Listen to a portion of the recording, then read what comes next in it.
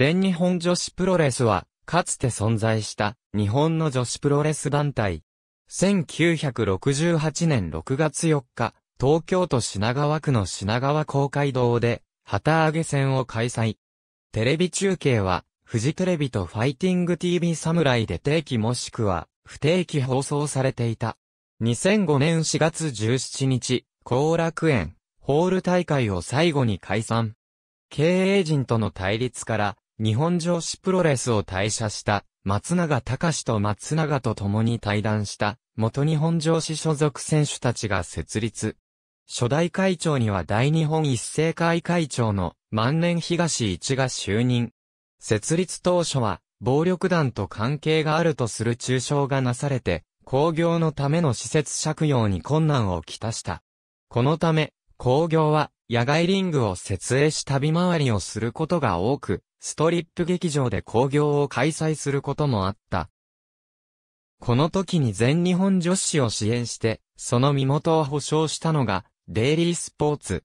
以降は1990年代まで全日本女子の主だった興行には、公演、デイリースポーツのクレジットがなされて、フジテレビによる試合中継にもデイリースポーツ記者が解説者として派遣された。また、全日本女子の旗揚げ時にデイリースポーツ、編集局長を務めていた上田真二は、後の全日本女子のタイトル運営機関である、全日本女子、プロレスリング協会のコミッショナーに就任している。工業は大都市の大規模会場、地方の県立体育館や市民会館、スーパーの駐車場など様々な場所で開催されて、最盛期には年間200を超えて300を超える年もあるなど、全プロレス団体でも最多だった。ジャパン女子プロレスの旗揚げ以前は長らく、日本唯一の女子プロレス団体だったため、工業ポスターは単に女子プロレスと表記しておりスタッフも電話口で、はい女子プロレスですと応対していた。プロレス団体としては珍しく、東京都目黒区下目黒に自社ビルを所有して2階に事務所が置かれていた。練習拠点となる道場及び、選手寮も自社ビル内にあった。2004年まで使用していたビルは1985年7月に完成。それ以前は、目黒区内の4階建てのビルの1階に事務所が置かれ、選手寮はそのビルの屋上にバラックで建てられたものであった。自社ビル1階は普段は車庫として使われていたが、天井が高いことを利用して沿道が歩行者天国となる日曜日に、車庫内の車をすべて外に出して、ガレージマッチと呼ばれる工業を開催したこともある。自社ビル内には、自社で経営していた飲食店、目黒山賊が入居しており、練習生や若手選手が試合のない日に働いていたほか、イベントも行われていた。閉店後は、プロレスグッズショップ、リングスターとなった。自社ビルは1997年の経営破綻で、債権者へ所有権が移転した後も賃貸料を支払いながら使用してきたが、解散前年の2004年に引き払い、解散時は品川区小山のビルの一角に事務所を構えていた。移転後の自社ビルは解体されて、現在はコインパーキングとなっている。全日本女子は松永家による同族会社だった。三男の松永隆を中心とする次男の松永、健治、四男の松永国松、逸夫の松永俊国の四人で全日本女子を設立して運営していた。また、隆と国松の間の長女の吉原玲子と次女の山口陽子も所属選手だった。さらに松永正嗣ら兄弟の子息もスタッフに名を連ねていた。松永兄弟には格闘技出身者が多く、今でいう総合格闘技の原型にあたる、柔ら健工業の経験者もいる。試合に出場した松永健治は、行動感を破門されている。そのことからしばしば全日本女子では、異種格闘技戦が行われた。初代会長の万年東一の時代は、松永隆が社長となり、万年東一の会長退任後は、松永隆が会長を継いで、社長は他の兄弟3人が持ち回りに近い形で就任していた。山口陽子は1989年10月に、膀胱癌により50歳で、春国は2002年9月22日に心不全により57歳で、松永国松は2005年8月17日に自殺により63歳で、吉原以子は2008年9月18日に肺がんにより70歳で、松永隆は2009年7月11日に間質性肺炎により73歳で、それぞれ亡くなっている。最後の生き残りだった、ケンジも2020年2月6日に肺炎により84歳で死去した。同族経営が、ゆえ、全日本女子、プロレスリング協会コミッショナーだった、上田真二は、松永家と対立して全日本女子を離れた。他に、プロデュース責任者だった小川博士も退社後に松永家の同族経営を休断している。全日本女子の社税は来る者は拒まずであった。社税に現れているように全日本女子のスタッフになった人には事務所に直接足を運んだり試合会場に足を運んで会長の松永隆に直談判して、かつ即決で採用に至ったスタッフが多かった。他に全日本女子プロレス中継の実況を担当していた志、育能ノットや、プロレスライターの須山博次も、一人で、事務所を数時間留守番していたこともあったという。一般のプロレス団体は、募集をかけて、プロテストを行い、合格者がトレーニングを経てそのままデビューへ進む形式が多いが、全日本女子でデビューするには、オーディションとプロテストの2段階を踏む必要があった。まずオーディションで、候補者がふるいにかけられて合格しても、その時点ではデビューが保証されるわけではなく、その後は、候補生として入門した上で道場でトレーニングを積み、一定期間後に行われる、プロテストを通過することで、初めてデビューへの道が開かれる。そのためオーディションを通過してもプロテストで受からず、対談したり、複数回受けて合格に至った者もいた。オーディションはタッグチーム、ビューティペアのブーム真っ只中の1977年に候補者が多数集まったため、この年に第1回を行い、以来年1回実施していた。第1回合格者には、ジャガー横田らがいる。タッグチーム、クラッシュギャルズの全盛期にあった1985年は、応募総数が4000人、オーディション参加者が2000人にも上り、非常に狭き門だった。オーディションは主に事務所やテレビ放映局だった、フジテレビにて実施されていた。一方で中高生を対象とした練習生制度も確立させた。これは、地方巡業で空いた道場を練習生に開放して、様々なトレーニングを積ませるもので、所定の選考は通過する必要があるものの、基礎を身につけることで選考で有利になるため、多くの練習生がここでデビューをつかむようになった。今日では、多くの女子プロレス団体や、元全日本女子所属選手の北斗晶が、代表取締役を務める健介オフィスなどで、このシステムを採用している。会長の松永隆が、日本女子プロレス協会より、NWA の名義人だったため、全日本女子は当初、NWA のラインを利用して外国人選手を招聘。男子選手での日本プロレスや黎明期の全日本プロレスのように日本人選手対外国人選手を主軸としたマッチメイクを行っていた。その後、フォアの管理権を得るとフォア会長のミルドレッドバークを窓口として彼女の弟子を招聘する。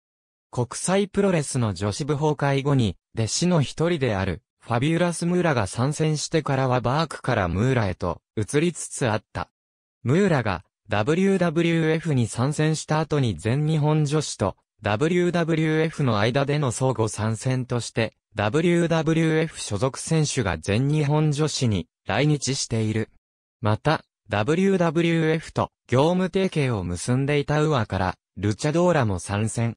全日本女子は、日本各地津々浦々を巡業するスタイルで、体育館以外の特設リングや、野外工業も多く、年間250試合前後と言われた。2リーグ制を取っていた時期には両リーグ合わせて305試合にも達した。これは男子選手と比べてもかなり多い数である。所属選手の知名度のみならず緻密なスケジューリング地元とのパイプがなければ難しく、既存の女子プロレス団体でこれを行えるのは全日本女子くらいしかいなかった。ハードな巡業は所属選手に雑草魂を植え付けると言われていた。全日本女子解散後は全日本女子から分化したネオレディースが引き継いだが2010年12月31日に解散。実質後継たるワールド女子プロレスディアナが継承するも地方工業は大幅縮小された。一方で全日本女子の地方工業に関わったプロモーターの中にも自主工業を行うところが存在する。野外工業は全日本女子の名物の一つだった。当初は前述のように、公共施設の使用を断る自治体が多くサーキットの編成の障害にもなっており、全日本女子は野外工業を増やすという方針を取ることにした。野外会場を取り囲むシート、パイプ椅子、売店用のテントも自前であったため、屋内会場よりも経費がかかったという。そのため、おいそれと中止にはできず、雨が降っても、雨天強行で開催していた。野外会場近くの商店などに割引優待券を置かせてもらったところ、野外会場に気軽に足を運んでくれる客が増えた。野外会場でも、会長の松永隆が直接焼く焼きそばが人気を博していた。さらに前半戦が終わると、ミゼットレスラーが自由席の客に対して500円を払えば自由席から指定席への変更ができると声をかけていたこともあった。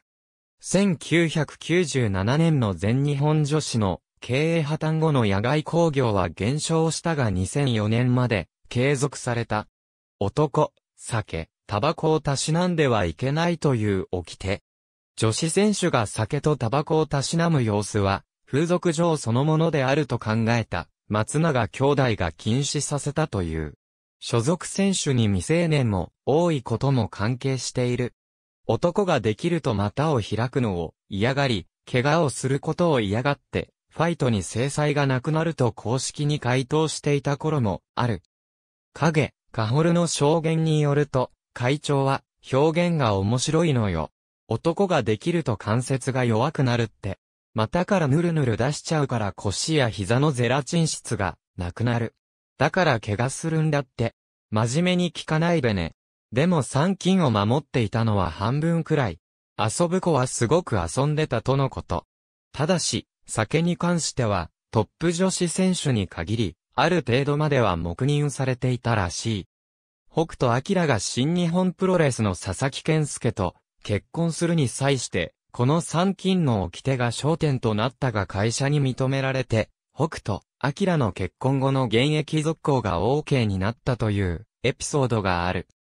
この3金はガヤ、ジャパンでも採用して、そのガヤからデビューした里村芽子が代表取締役を務める仙台ガールズプロレスリングでも入門3年間は3金としている。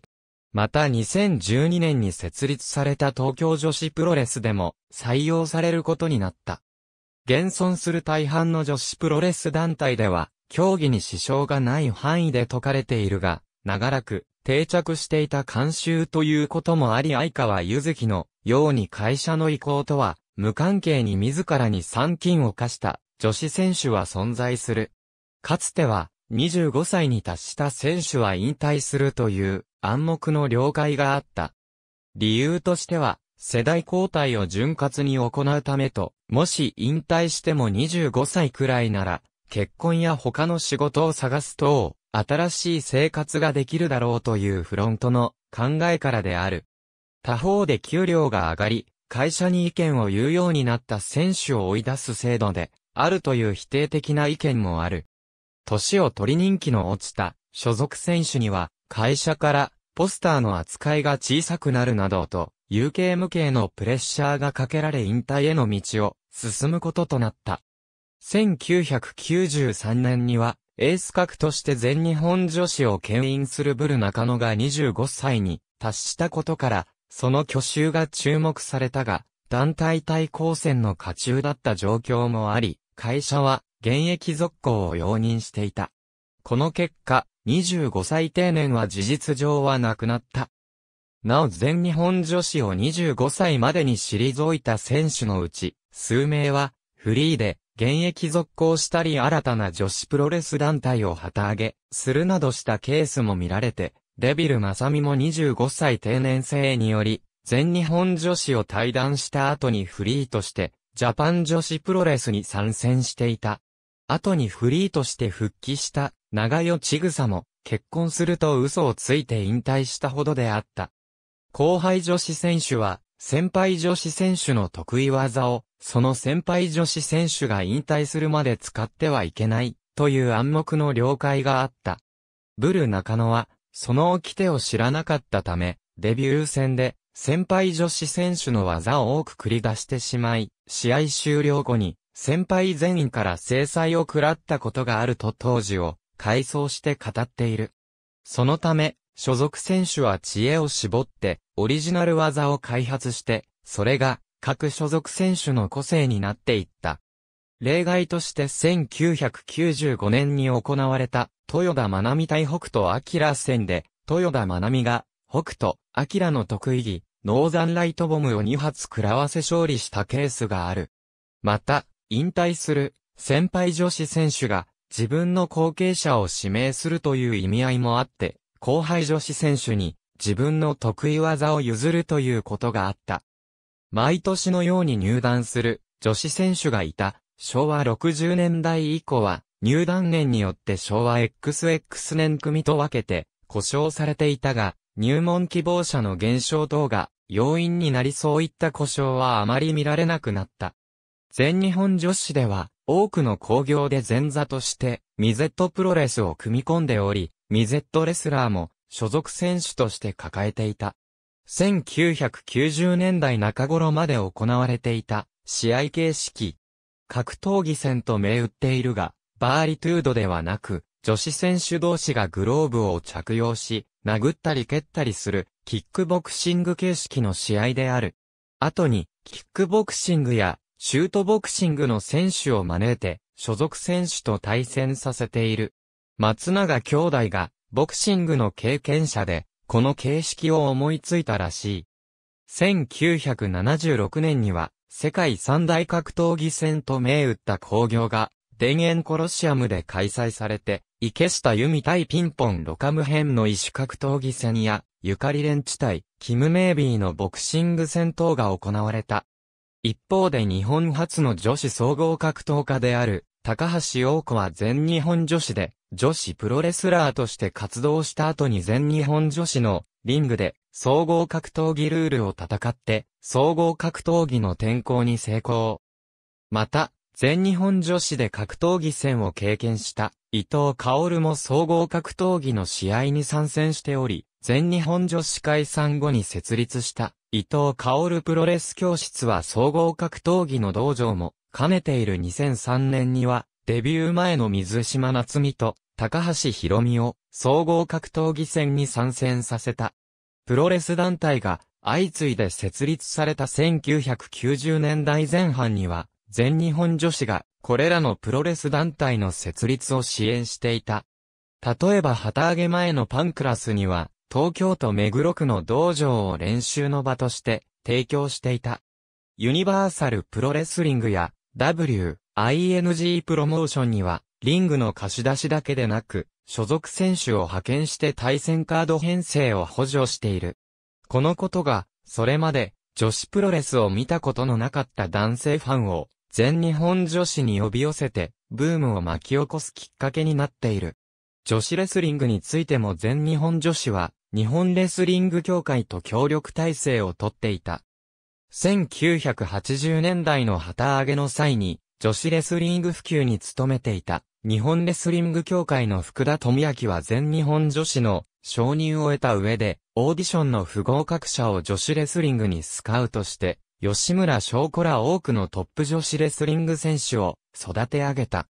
一方で全日本女子もジャガー横田がコーチに就任して、練習生をレスリングの練習に参加させたり、合同練習やエキシビションマッチを組んで、女子レスリング国内外公式戦に練習生や新人選手を派遣させるなどしていた。さらに、第1回、全日本女子レスリング選手権は全日本女子とレスリング協会の合同工業として開かれた。これにより、女子レスリングの知名度向上に一役買う一方、全日本女子から参戦した多くの所属選手も、レスリング技術を身につけて、後のトップ女子選手に成長することができた。中でも、豊田真奈美や井上京子らは、国内大会優勝を経験している。また、斎藤和恵や中見川志保のようにアマチュアで活躍した女子レスリング選手が、プロ入り後も参戦を続けるケースや見立てら、ゆかのように、全日本女子の練習生として参加後はプロにならず、アマチュアの実力者となるケースもあった。1990年代に入っても、東京ドーム大会に女子レスリングの世界チャンピオンだった山本美優や当時新人だった浜口京子も参戦しており、以降もレスリングルールのエキシビションを行った。一方で、深川由衣ミラレスリング出身者も全日本女子に入門。1999年にも、日本レスリング協会主催のレスリングフェスティバル99が開催されて第1部で、全日本レスリング選手権、第2部で、女子プロレスが行われた。なお、全日本女子解散後は、プロアマ協調路線を S オベーションが引き継いでいる。全日本女子が全国的人気を獲得できたのは、フジテレビによる試合中継番組の影響力も大きい。1975年からの放映開始以来、全日本女子プロレス中継、格闘女神アテナと引き継がれて2002年まで長きにわたって放映されてきた。さらに試合中継を放映するにとどまらず、所属選手のテレビ番組出演や、オリジナル楽曲発表など、フジテレビの全面的バックアップで、所属選手は全国的人気を獲得。これらの施策により、女子プロレスブームが幾度となく、起こり全日本女子への入門希望者が激増するということも起こった。フジテレビによる中継終了後も解散がまでお台場のフジテレビ社屋で興行が開催されるなど、全日本女子とフジテレビの関係は維持されていた。フジテレビでの定期中継番組開始前は、東京12チャンネルの番組、女子プロレス中継世界選手権シリーズ、ネットテレビの番組、23時ショー、日本テレビの番組、午後11時の中で不定期に中継していた時期もあった。フジテレビにおける中継終了後は、ファイティング TV 侍が中継を引き継いだ。ファイティング TV 侍では全女クラシックスと題した過去の名勝負を放送している。所属選手は歌手や女優など芸能活動も積極的に行ったことで、これも人気獲得に一役買った。それまでプロレスの試合中継と取材以外でメディアに登場することは男女とも団体の看板選手を除けば皆無に等しかったが、マッハ文明がもともと歌手志願だったことから、全日本女子の事務所内に芸能部を設置して、マッハ文明を筆頭に、多くの所属選手を歌手デビューさせて、レコードを発売するとともに、テレビの歌番組にも出演させるプロモーションを展開。それまで女子プロレスに興味を示さなかった一般層の獲得に成功している。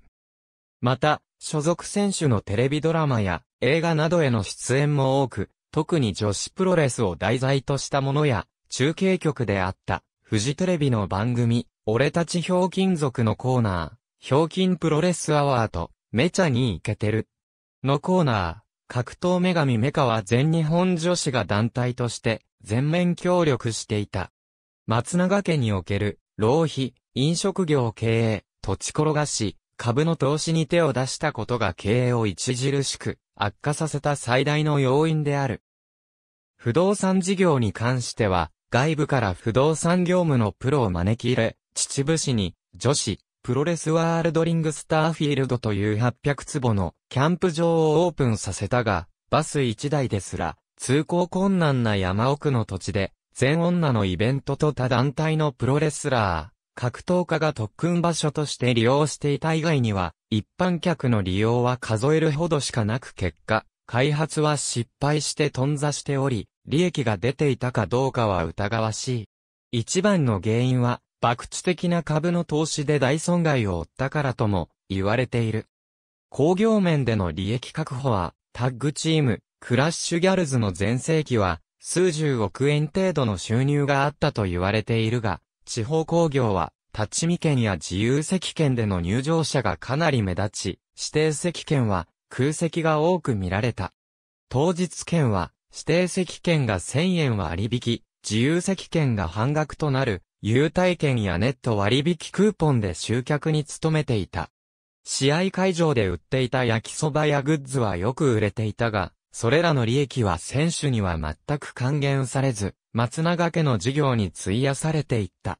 アジャコングや北斗晶が在籍していた頃でさえ、地方工業のほとんどが赤字遠征であった。2003年9月11日に開催した山口県小野田市の小野田市民館体育ホール大会では、プロモーターによるチケット代金持ち逃げが原因で、前払いから後払いに急遽変更した試合会場使用料の未払い額である約32万5千円を滞納したため、施設を管理する小野田市は全日本女子を相手取り、船木簡易裁判所に告訴した。1996年秋頃から松永家のプロレス工業以外における巨額の借金の返済に追われ、全日本女子所属選手とスタッフに対して給料の未払いや遅配が発生した。所属選手はサーキットや練習に追われていたためアルバイトもできず、最終的にはサーキット中に無償で食事などを提供してくれるプロモーターを頼らざるを得なかった。下田美馬は、貯金は底をつき、給料袋には千円札1枚の時もあったことを明かしている。ある中堅選手も年間300万円の給料の未払いがあったと後に告白しており、水島夏美も給料未払いを理由に全日本女子を退団している。1997年の日本武道館大会直後には、選手全員が我慢の限界に達して、事務所前で給料の支払いを求めて、ストライキを敢行している。経営改善策として1997年、初めに工業から選手を交代で間引く、高級性を試験導入したが、ファンやプロモーターからの反発が大きくすぐに頓挫している。スタッフには全日本女子の運転資金にするため各自、消費者金融から50万円借りてくるよう、促されたといい、リングアナウンサーの今井義春のように、アルバイトを掛け持ちしたスタッフもいたという。経営破綻と同時に所有権が移動した自社ビルに関しても経営破綻前から売却を検討していたという。事務所移転前後には前世紀のような20戦前後かつ全国を回る、サーキットはほとんど組めず、関東地方中心でかつ10戦前後のサーキットとなっていた。2004年12月時点では、負債が約30億円あったという。結局、飲食産業部の売り上げで、プロレス工業の赤字分を補填し続けていたが、倒産する5年以上前から自転車、創業状態だった。最終工業でも正式な解散宣言はなく、その後、障害担当の松永正嗣が中心となって新たな工業主を探して全日本女子の継続を模索していたが、多額の負債がネックとなり断念。譲渡先には最終工業をプロモートしたファーストオンステージも上がっていた。なお最終工業となった後楽園ホール大会後のかな久保総合体育館大会が4月27日に予定されていた。2005年8月17日に社長の松永国松が東京都品川区内のビルで飛び降り自殺をしていたことが判明。女子プロレス関係者に衝撃を与える最悪の事態となった。